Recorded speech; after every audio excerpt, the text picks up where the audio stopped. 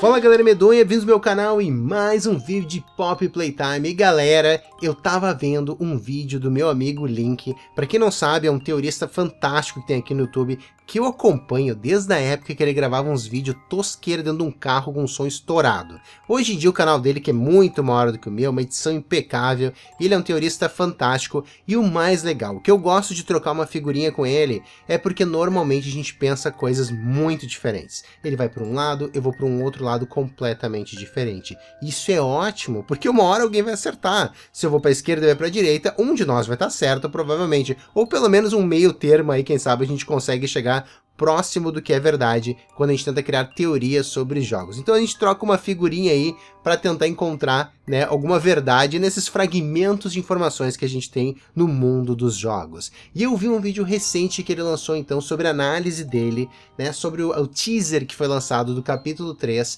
de Pop Playtime. Eu já fiz a minha análise inicial, eu tenho vários vídeos aqui do canal que você pode acompanhar na playlist, que por sinal, galera, o canal dele, esse vídeo que ele fez essa análise, eu vou deixar aqui no canal, no comentário fixado, e você pode assistir porque vale a pena, e ele vai, o meu vídeo na verdade vai complementar com as minhas ideias malucas e talvez faça sentido para vocês. Galera, o que, que eu pensei? Eu pensei coisas diferentes do Link, e aí é claro, né, vocês vão ter que ver o vídeo dele para com as minhas ideias, então complementar e ver se faz algum sentido, né, dentro da minha mente maluca. Eu vejo então nesse teaser dois grandes elementos. Eu vejo um elemento, o óbvio, né, que é essa máscara de gás colorida. Isso é óbvio, é uma máscara de gás colorida com cores que são obviamente colocadas naquele objeto para quê? Para não causar estranheza em crianças, é praticamente como se fosse um brinquedo, né? Uma, uma cor que é muito semelhante à, à cor, por exemplo, do Grab Pack, né, que é uma coisa para não causar nenhum tipo de estranheza em uma criança quando ela vê, ela vê aquele objeto. Outra coisa também que a gente vê é, né, no thumbnail do vídeo que foi lançado pela empresa vendedora do jogo, a gente consegue ver uma espécie de uma fumaça vermelha atrás nessa máscara, que a gente remete, obviamente, à flor de papoula, né, Pop Flower, que a gente sabe, que a gente eu já vi, trouxe aqui no canal a simbologia, o misticismo né, dela, que traz todo um aspecto de ressurreição. É muito legal a simbologia, a história dessa flor, né? E ela tem também uma questão toda histórica da Segunda Guerra Mundial, né? Então eu realmente recomendo que vocês vejam um vídeo que vai estar no card, em algum lugar aqui da tela, porque explica um pouquinho melhor. E no próprio jogo, eles nos apresentam essa flor, um composto dessa flor, como sendo um dos componentes, uma variável dentro de uma equação, que poderia trazer então né, os mortos à vida de alguma maneira, e aí os brinquedos eles, voltam à vida né, de alguma maneira. Ainda não está explicado 100% como que isso acontece, mas a gente sabe então que com certeza é utilizando um gel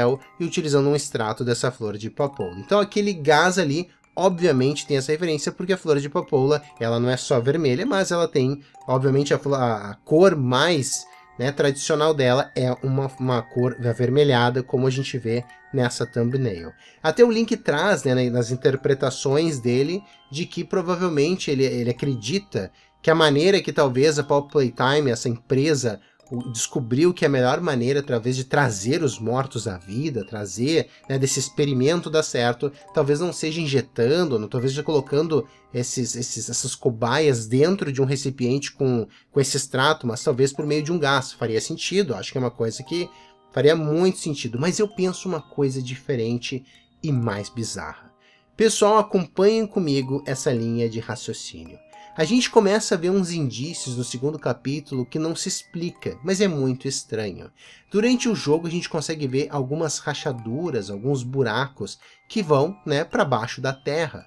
Não explica por que, que isso aconteceu, foi um terremoto, não foi um terremoto, por que, que tem essas rachaduras e mais importante, o que, que tem lá embaixo? Tem alguma coisa lá embaixo? Não sei, mas deixa aquilo em aberto e o jogo não explica o que aconteceu. Simplesmente a ação do tempo não ia fazer aquele buraco né? Alguma coisa fez aquele buraco.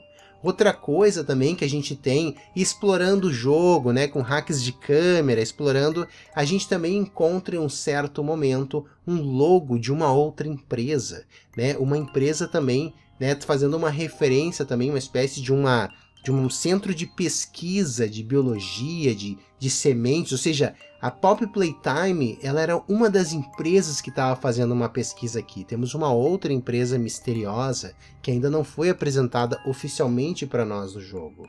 E mais do que isso, será que esse local aqui onde está a fábrica, de alguma maneira ele não é especial?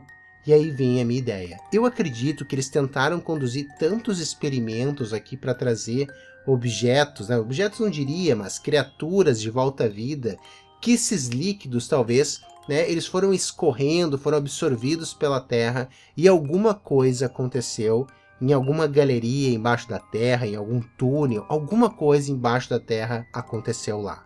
Algo aconteceu, não sei se foi tocou algum químico, se foi alguma coisa sobrenatural, mas alguma coisa aconteceu lá e eu acredito que lá se formou uma vida, alguma inteligência, alguma entidade e lá existe um gás. E esse gás ele tem algum efeito extremamente nocivo aos seres humanos. E esse gás ele começou a vazar pela fábrica e um dos efeitos desse gás sim poderia ser facilitar a transformação de uma pessoa em um boneco. Isso eu acho que é totalmente plausível, então poderia ser um dos componentes sendo utilizados. Mas esse gás, talvez no seu estado mais puro, ele fosse letal, ele fosse talvez causasse uma transformação completamente maluca, né, monstruosa nas pessoas, não sei. Por que eu falo isso? Pensem comigo, pessoal. O Grab Pack que a gente usa no jogo, né, para estender os nossos braços, pegar caixas, fazer um monte de coisa. À primeira vista, a gente pensa, é para os funcionários da empresa usar. É mesmo? Sim, mas também não. Porque as crianças usam GrabPack. Se a gente pensar todos aqueles jogos que elas passam, aquelas dinâmicas no segundo capítulo, todos eles são utilizando o GrabPack, ou seja, as crianças também utilizavam aquele equipamento para fazer né, alguns testes. Ou seja, aquele equipamento também ele era adaptado para ser utilizado por uma criança. E nós temos uma máscara agora. Essa máscara, será que ela poderia ser utilizada pelos funcionários da empresa para poder acessar uma, uma, uma, área, uma galeria subterrânea, um túnel que tivesse ali algum tipo de gás extremamente tóxico e perigoso? Sim, mas será que também ele não tem esse formato, não tem esse desenho, não tem essas cores para imitar um brinquedo, imitar um, alguma coisa mais infantil, para que as crianças também não pudessem utilizar e pudessem acessar um local? Pensem comigo, e se na verdade todos aqueles testes que as crianças estavam passando, é claro que era algo para selecionar as crianças, estavam traçando um perfil. Mas se além de, né, talvez um perfil para escolher, escolher bons candidatos para talvez no futuro se transformar em alguma coisa, não fossem bons candidatos para algum tipo de uma ação, e se lá embaixo, nesse local extremamente nocivo, tivesse que ser coletado alguma coisa? Mas é um local tão nocivo que a pessoa tivesse que ser muito rápida, reflexos rápidos e ficar um pouco, muito rápido, um pouco tempo lá. A pessoa tivesse um raciocínio rápido, reflexos rápidos, a pessoa teria que ser praticamente um ninja lá embaixo para ela não morrer com contato com aquele gás.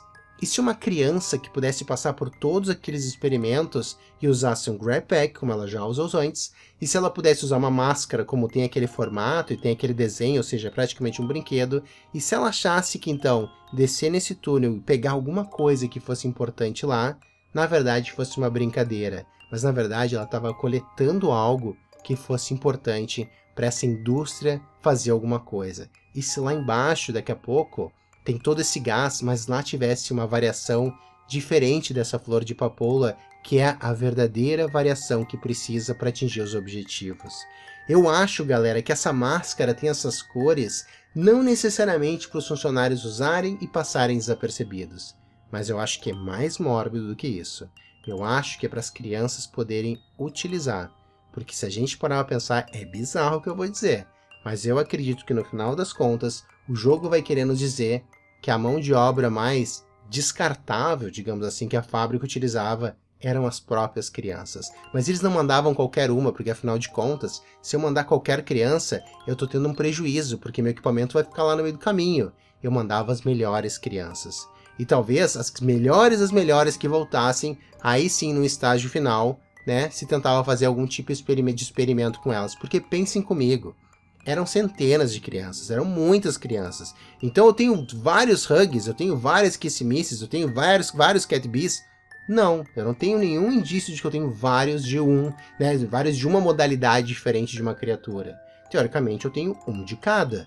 Então, como assim? Só tem um de cada? Mas eram várias crianças passando teste, quer dizer que não tem uma, não tem duas, três crianças com o mesmo perfil, com as mesmas habilidades? É claro que teriam naquele grupo. Então, assim, estranho não pensar que para o mesmo grupo, por exemplo, um perfil de Cat B, não teriam três crianças aptas. Né? Então, estranho pensar nisso. Talvez tivesse, mas, de novo, nesse teste final de coletar alguma coisa num ambiente extremamente nocivo, só uma deu certo, digamos assim, porque as outras acabaram, digamos, né, com life no negativo, se é que vocês me entenderam. Enfim, galera, eu acho que o jogo vai para galerias subterrâneas. Eu tô falando que vai ser no capítulo 13 isso? Não, talvez não. Talvez tô falando que isso vai ser no capítulo 4, no capítulo 5, não sei.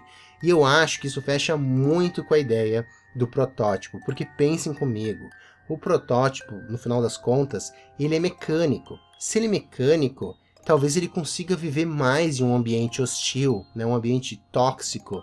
Então talvez ele, ele, é chamado de protótipo porque ele é diferente dos outros. A gente sabe que os brinquedos, no final das contas, eles têm componentes orgânicos. Então talvez esse ambiente tóxico fizesse mal para eles, no final das contas.